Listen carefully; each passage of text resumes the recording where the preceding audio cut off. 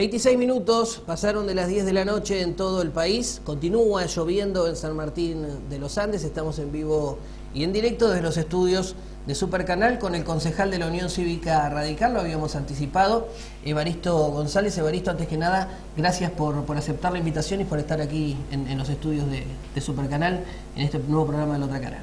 Al contrario, José, agradecido soy yo por darme la oportunidad de dirigirme a la, a la comunidad de San Martín de los Andes. Hoy tuvieron una sesión bastante nutrida desde el punto de vista de la visita de vecinos de distintos lugares y entiendo que en el Consejo Deliberante, y les debe pasar tanto a usted como al resto de los concejales, están recibiendo en el último tiempo muchas quejas de vecinos de distintas juntas vecinales.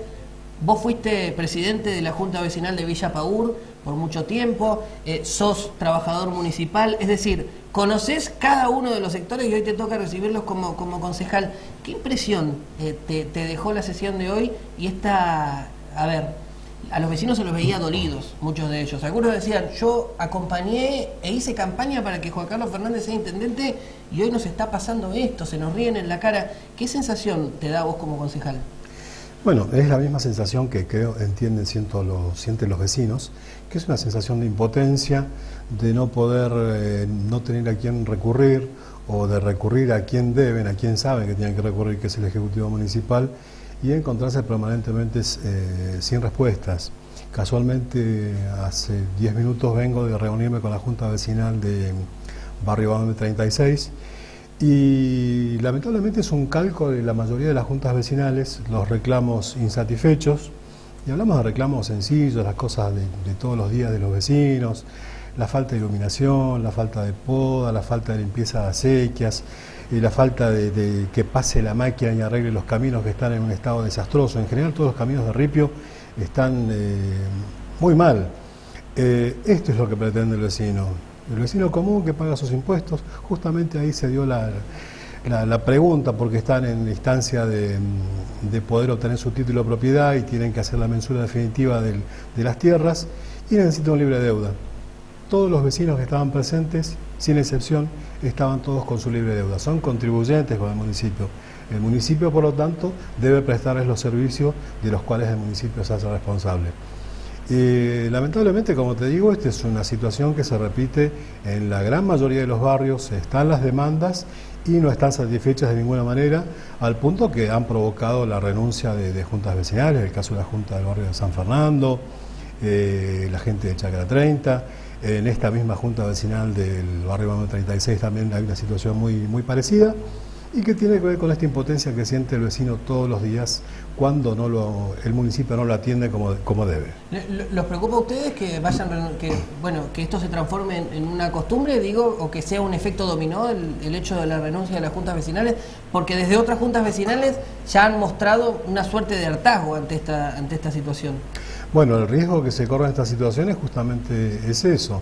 El vecino cansado de no poder eh, obtener lo poco que está solicitando, llega un momento que llega esta situación de hartazgo, como vos decís, y plantean, lo plantearon abiertamente, bueno, ¿qué necesitan? Que cortemos calles, que hagamos manifestaciones así como las que estamos acostumbrados en este país, es lo que plantean. Eh, pero no, es una no es que se dé por repetición, la repetición se da realmente en la falta de respuestas de parte del, Ejecutivo. Hoy el tema del barrio Cantera, por ejemplo, es un barrio que está bien, en su naturaleza, sabemos cómo nació, eh, la gente fue ocupando el lugar sin ningún tipo de, diagramación, digamos, de, previsión de absolutamente nada. Era un lugar que probablemente no era el mejor para ser habitado por haber sido una cantera justamente. Eh, fueron socavando el terreno, fueron sacando muchos árboles en su momento.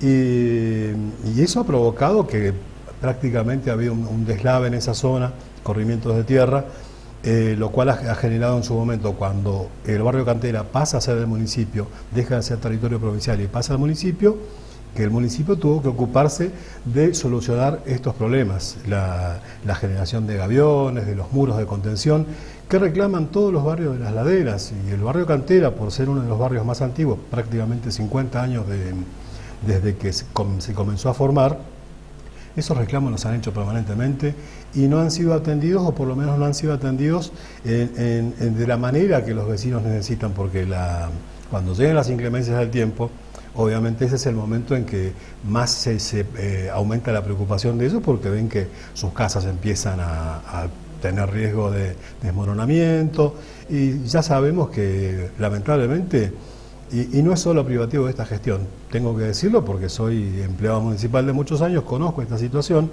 Y históricamente, lamentablemente, el municipio corre atrás de la emergencia, nunca en la previsión que se debería tomar.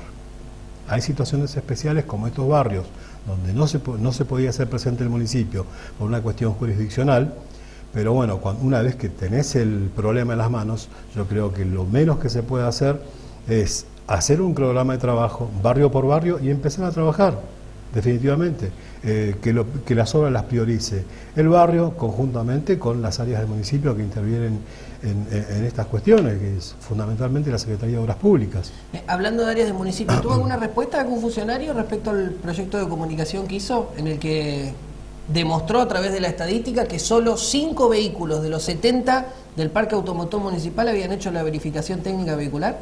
No, no, lamentablemente eh, no he tenido absolutamente ninguna respuesta, por el contrario, hablando con funcionarios, con un funcionario importante dentro de la Secretaría de Obras Públicas, eh, me confirmó que efectivamente es tal cual como está, está en los fundamentos de la, comunicación que aprobó el Consejo Deliberante. Eh, y ante un planteo mío, que le, digo, no sería conveniente que presenten todos los vehículos ante la planta verificadora y que en función a la gravedad de las falencias que posean la mayoría de ellos, se evalúe la posibilidad de sacarlos de circulación, por el riesgo que pueda importar, como lo dijimos, eh, tanto para el personal municipal como para los vecinos, para los bienes, eh, para los bienes del municipio también. Pensemos que esto puede generar demandas judiciales de, proporciones este, totalmente desconocidas. Y bueno, lamentablemente lo que me dijo, me lo dijo así en textuales palabras, negro me dice, si yo paro el, parque automotor que no está en condiciones de circular, que no está en condiciones de pasar la, la BTO, tengo que parar el 60% de la planta vehicular del municipio. O sea, se queda sin hacer absolutamente nada.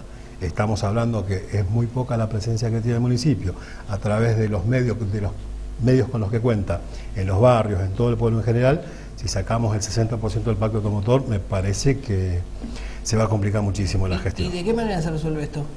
¿De qué manera se resuelve? Evidentemente es una cuestión económica, económica en cuanto al, dinero que deberían invertir para solucionar los problemas que tenga cada una de las unidades.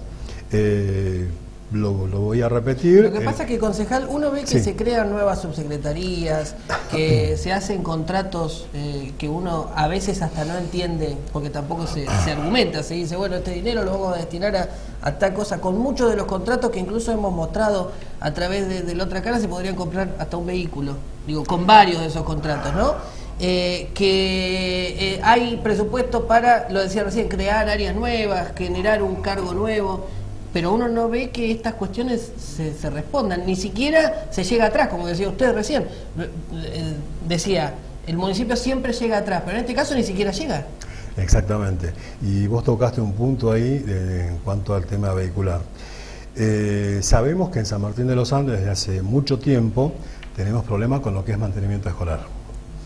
Eh, mantenimiento escolar tenía una cantidad muy reducida de personal asignada a esa tarea, de 5 o 6 personas, eh, hasta el año 2012, verano 2012, tenían, utilizan, utilizaban un vehículo municipal, la Sabeiro TLR 790, que fue público y de conocimiento de toda la población, que tuvo un siniestro viniendo de la zona de Ameriquina. Rompió la dirección con tan buena suerte que se rompió y se derivó para el lado de la montaña y no para el lado del lago, porque si no teníamos cuatro o cinco eh, agentes municipales probablemente muertos, muy probablemente. ¿Qué, hizo el municipio a partir de ese momento? Alquiló un vehículo a un particular a razón en ese momento de 12.500 pesos.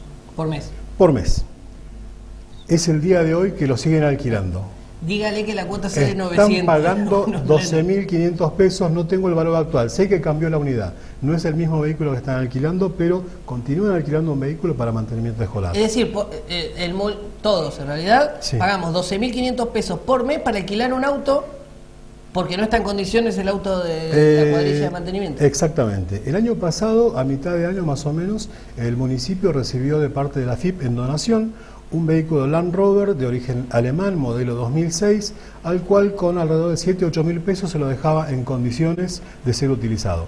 En ese momento fue sugerencia de mi bloque que ese vehículo fuera destinado a mantenimiento escolar, pues es un vehículo 4x4 que es, eh, se adapta perfectamente para las necesidades, para así dejar de alquilar este otro vehículo a razón de 12.500 pesos. Es el día de hoy que ese vehículo está, entiendo, eh, no lo tengo el dato oficial, pero sí sé que es así, eh, lo estaría utilizando el subsecretario de... De, de- de- de- de- de- Servicios públicos. públicos, exactamente. Estaría, est- exactamente, estaría a cargo de él. Y seguimos pagando el alquiler de, de un vehículo. Eh, ¿Qué cosa?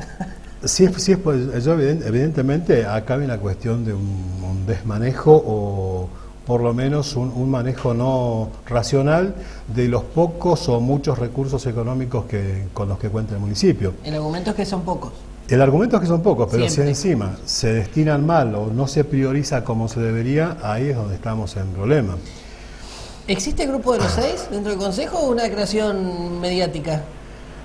Realmente desconozco de qué se habla, porque lo, lo he leído en algún lado, me lo han comentado. Bueno, pero los dijo, seis. lo dijo aquí. Bueno. Julio Bey dijo, y somos seis concejales que nos llevamos mejor que el resto. No, eso puede ser, que hay una buena relación. ¿Y podrían dentro- ser siete en los próximos días, no? Eh, no, me dejo ser. por, las, por todo, la es- sesión todo de es, hoy. po- todo es posible. Si vos analizás la conformación de algunos grupos dentro del Consejo Liberante desde que arrancó esta gestión, como que ha ido rotando, ha ido mutando en el tiempo eh, estas especies de pseudoalianzas que, que se hacen, que se hacen en política habitualmente. Eh, Si fuera fútbol diría Borón Bombón, Borón Bombón es una faro su pendalón.